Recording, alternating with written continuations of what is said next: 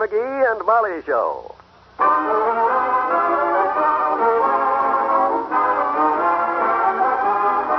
NBC and Richard Hudnut, makers of enriched cream shampoo and cream rinse, present Fibber McGee and Molly transcribed. The show is written by Phil Leslie and Ralph Goodman and directed by Max Hutto.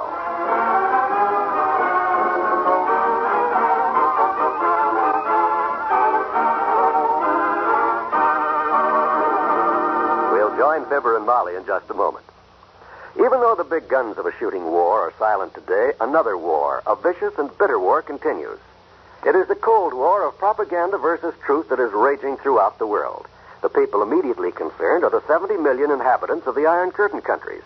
But don't think for a minute that every American hasn't a stake in its outcome, too. You can help to combat the vicious lies that are being spread throughout Europe by joining in the Crusade for Freedom, which offers each of us as individuals the opportunity to strike a blow against tyranny.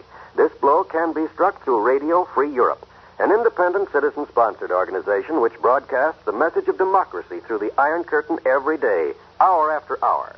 It brings hope and truth to enslaved peoples, spiking lies and undermining the influence of red rulers. Radio Free Europe is a partnership of Americans and exiles of enslaved countries who broadcast to their compatriots in their own idiom. Join the crusade by contributing your truth dollar. Send your contribution to Crusade for Freedom, care of your local postmaster.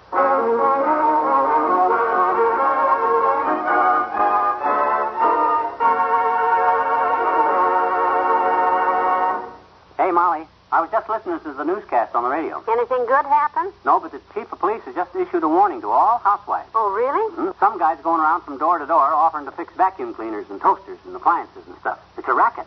A racket. One of the oldest. Oh. You see, what the guy does, he tinkers with your vacuum or your toaster a while, and then he says, This is a bigger job than I thought, lady. I'll have to take this down to my fix-it shop. Well, Well, he don't even have a fix-it shop. oh. He just loads the stuff in a big truck and takes it to some other town and peddles it. Well, that isn't honest. It's a good thing the chief of police got wind of it. They'll catch this guy, but it just goes to show how careful you women have got to be. I should say so. Oh, how did the chief find out about it? It seems that when he came home for dinner last night, he found his wife sweeping the rug and making toast in the oven. So he took her down to headquarters for questioning. She made a full report. Oh, that poor girl. What a lecture she must have listened to. Sure. I'm glad it wasn't me. Oh, I can just hear my lord and master now. How could you be so stupid, Molly? Let a total stranger come in here and. Please, please, kiddo. This ain't funny. This is serious. That's not the only rackets being worked on housewives these days. You take the old envelope swindle, for instance. Every day, some The woman. what, Swindle? The, the envelope swindle. Grocery boy! There's the old timer with the groceries. You go talk to him a minute. I'll go get an envelope and show you what I mean. Okay, dearie. Just put them there on the sink, Mr. Oldtimer. Already done it, daughter. Hey, it sure is a beautiful day outside. Makes me feel like an 80-year-old kid again. you sound pretty chipper, all right. Had me a big morning, daughter. Just made $30,000. Thirty thousand dollars. Just beat Teeny a game of Monopoly. For a while there, it looked like I was going to have to tear up the tracks to get that last railroad away from her, but hello there, Johnny. I was just telling daughter Hey, here. look, old timer. I bet it's going to rain today. I bet it's going to rain in the next ten seconds. Well, that's a cheerful greeting, son. Prettiest day of the year, and you come along. I and- bet you three bucks it rains. How about it? Three bucks. Daughter, you better get the boy to bed and take his temperature. Sun shining, there ain't a cloud in the sky. The envelope swindle, Molly. Now watch this. Oh, I wondered what you were trying to What are you two whispering about? You ain't fixing to go outside and turn a hose on the window, daughter, because Oh, I... no, no. I'm staying right here. Come on, you want to bet? Three bucks. Three bucks says it rains in the next ten seconds. Well, there's something funny going on here, but... Well, okay. Here's my three dollars. It's a bet. Here's my three bucks. Now put the money here in this envelope and we'll seal it up. Okay. That's it. Good. Now I'll put the envelope in my pocket. Just a minute, Johnny. If you don't mind, I'd feel better if daughter here held the envelope. Nothing personal, of course. I just don't trust you, that's all. Okay, here, Molly. You hold the envelope. Now we'll count up to ten seconds. And if it don't rain, I win the money. That's right. One, two, three, four, five, six, seven, eight, nine, ten. Yeah, it ain't raining, Johnny. I win. Don't tell me there's a fine drizzle I can't see No, because. no, you're right. It didn't rain. You win the dough. Well, give him the envelope, Molly. Thanks a lot, Johnny. This I don't get, McGee. You just gave away three perfectly good dollars. You'll see in a minute. I gotta be getting back now, so thanks. Why don't you open the envelope first and take out the money? Oh, good idea. I forget I had it, and, uh, hey, there ain't no money in here. There isn't? No, there ain't. Just a bunch of cut up old newspaper clippings. you see there, Molly? Here's the envelope with the money in it. When I stuck it in my pocket, I switched them. Two envelopes. Oh, so that's the swindle, huh? Right. You ought to be careful, old timer. You see, if I wasn't honest, I'd let you walk out of here with them clippings instead of your money, see? No, not me, son. Nobody'd ever trick me with an old gag like that. Well, I just done it. Here's your money. Right alongside of mine, right here in this original envelope. Whoa! What's the matter? This other envelope, it's full of Monopoly money. Where's my $3? Right here, Johnny, palmed in my hand.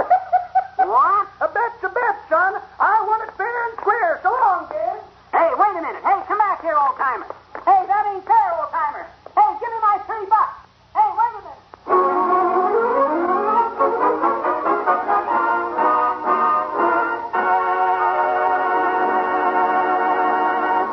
Back to Wistful Vista in a minute. Hello, I'm your Richard Hudnut beauty advisor. Here's exciting beauty news for you busy women. It's about an amazing shampoo that gives your hair a beautiful egg sheen in just three minutes' time. This remarkable beautifier is called Richard Hudnut Enriched Cream Shampoo. It's made with real eggs, powdered in a wonderful cleansing formula that suds right up even in hardest water. Every drop of this golden lotion cream shampoo is enriched with egg protein. And since hair itself is protein, it naturally benefits from this affinity of protein to protein. It's nature's own way to put a beautiful sheen in your hair. You'll love the way your hair gleams smooth and shiny as bridal satin. And ladies, nobody's too busy to take a minute more for Richard Hudnut Cream Rinse. It seals in that fine glimmer and gleam, protects it with a fragrant beauty finish. Take my advice and try this quick two-step way to truly beautiful hair. Richard Hudnut Enriched Cream Shampoo and Richard Hudnut Cream Rinse.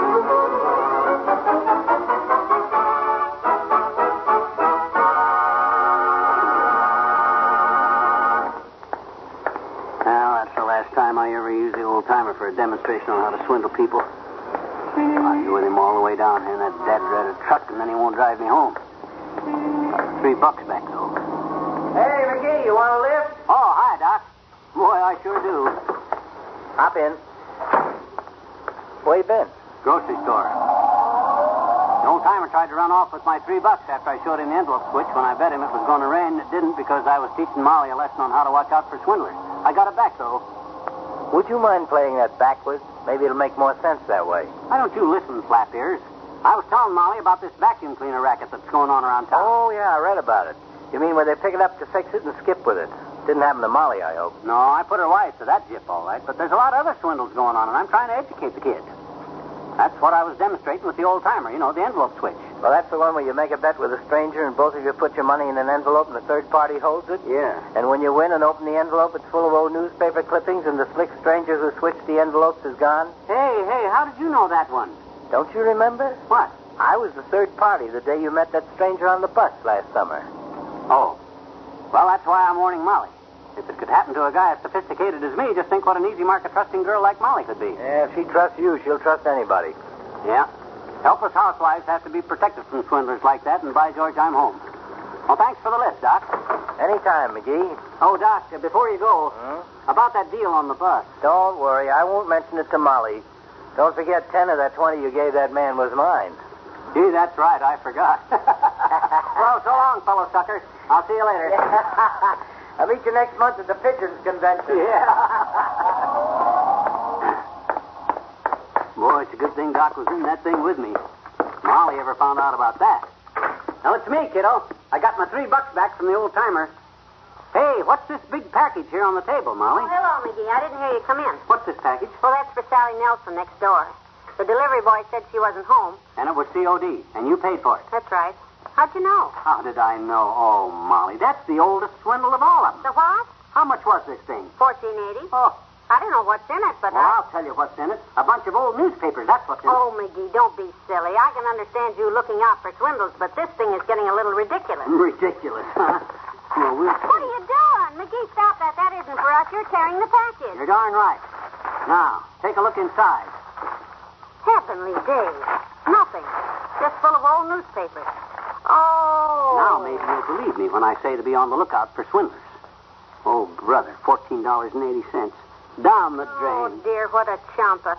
I feel terrible about this. Well, I'm maybe I'm being a little harsh with you, but gee whiz. I know, and here I was just thinking how silly that woman was who gave the man her toaster and vacuum cleaner. Well, we all make mistakes, and the way to remember them is to pay for them.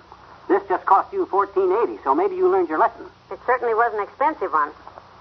Will you split it with me? No, ma'am.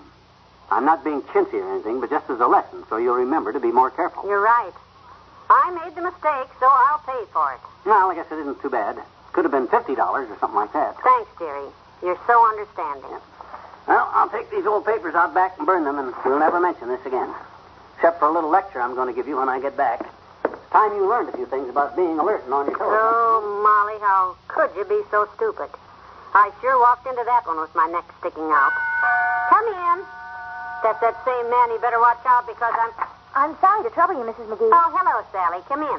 You see, I've been out all day, and I... I know. I wish you'd have been home a while ago. You could have saved me fourteen eighty 1480? on that phony COD package the man delivered. Oh, then it did come. Is that how much it was? 1480? I beg your pardon? Well, the old Civil War newspapers. You see, my dad's birthday's coming up, and he collects stamps and old newspapers. When I saw these old papers in the hobby shop, I knew that'd be just what he wanted. Yeah, so I well, that unhappy incident just went up in smoke, Molly. We can forget all about it. Uh, what's the matter, kiddo? Oh, hi, Sally. Did Molly tell you about that silly thing she just did? I don't blame her for looking so embarrassed. You see, this guy comes to the door and he tells her he's going to.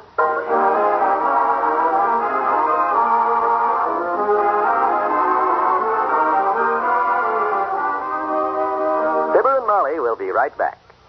Every time you turn on your radio receiver, you're looking for entertainment, news, or relaxation.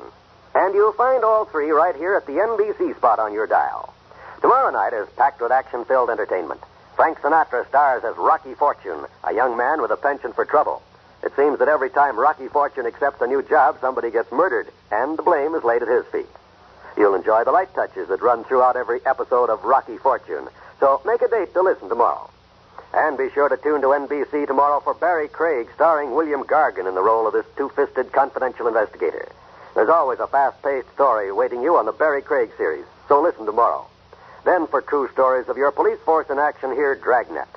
From crime to punishment, Dragnet takes you step by step on the side of the law in the solution of an actual case from the files of the Los Angeles Police Department. Jack Webb stars as Sergeant Joe Friday with Ben Alexander as Frank Smith. Don't miss Dragnet tomorrow on the NBC Radio Network.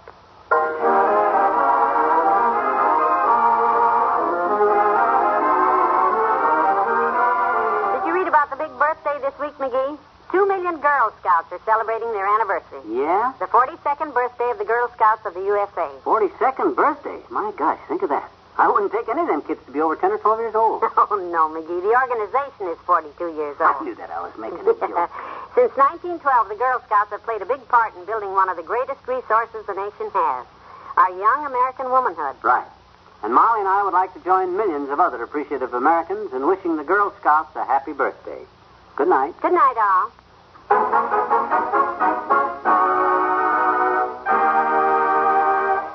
NBC and Richard Hudnut, makers of enriched cream shampoo and cream rinse, have brought you the Fibber, McGee, and Molly program transcribed. With Bill Thompson as the old timer, Arthur Q. Bryan as Dr. Gamble, and Mary Lou Harrington as Sally Nelson.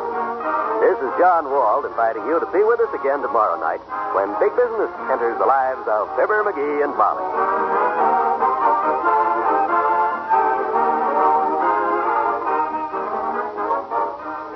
Wants to Know with guest Eugene Lyons on the NBC Radio Network.